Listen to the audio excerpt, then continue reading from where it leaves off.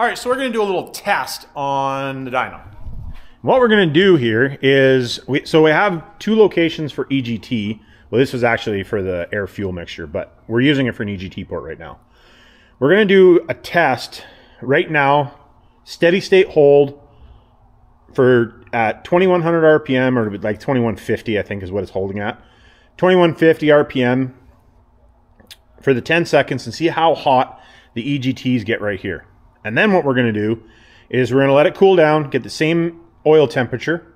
We're going to swap the, the sensor from here to there and then see what the EGTs are again. So I've seen, uh, I've seen debates on it before and somebody met, said it on my, one of my videos that it doesn't make a difference. So we're going to do a video and see if it makes a difference.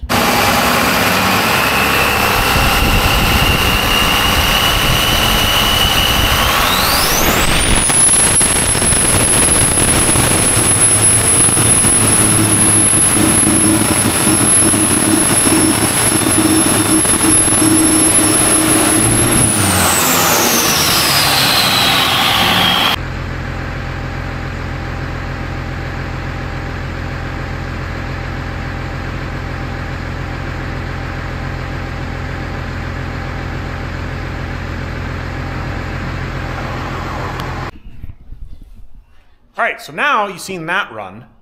Now we got it switched back around, so it's in the exhaust manifold, right in between the two um, separating plates, volutes, scroll, whatever you want to call it. We're going to do another run on it and see what we get for temperature. Let me know in the comments before, pause the video, let me know in the comments if you think it's going to be different or if it's going to be the same or what it's going to be. Let me know in the comments.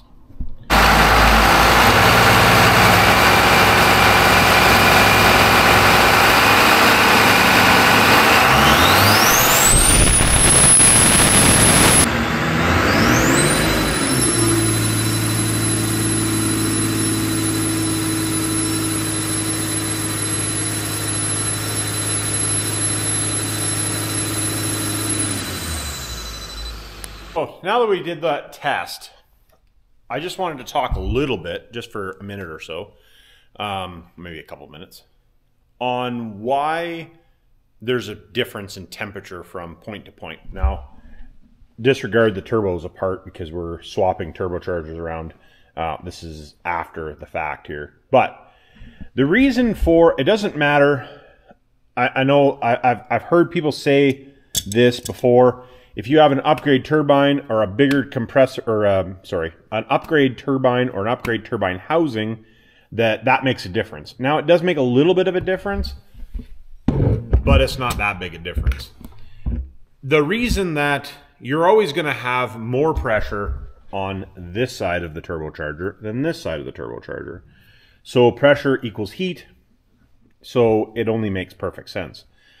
Now yes when the your combustion ha- is happening, when you're doing a full run, there is literally fire here for the most part. So that's part of the reason that it's so hot, but is what it is. But a lot of it has to do with pressure, a pressure differential between the two.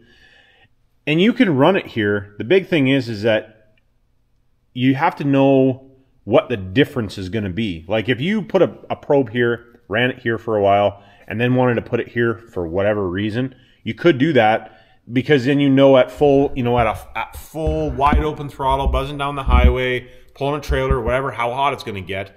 You're going to know roughly, like you know, if you, the truck is tuned properly, you know, maybe you should get 1400 degrees, maybe uh, like wide open, hold your foot to the floor for you know a minute. It should you know run 1400 degrees. I know that most guys' trucks are going to run hotter than that. So if that's the case, you want to know exactly how hot that thing is, not guessing. Because if you're guessing, well, you end up with pistons like that. It's not what you want. So I just thought I would preface a little bit about that. Um, but for you guys that are interested in turbocharger, um, we're going to be doing a bunch. We're doing testing. We're, we're doing some testing in the background.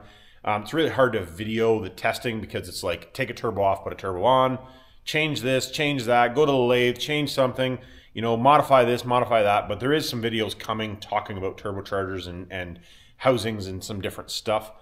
So, now that you guys have seen those numbers, for any of you guys that doubted that there's a difference between having the EGT probe there versus there, well, numbers don't lie. All right, watch this other dyno video.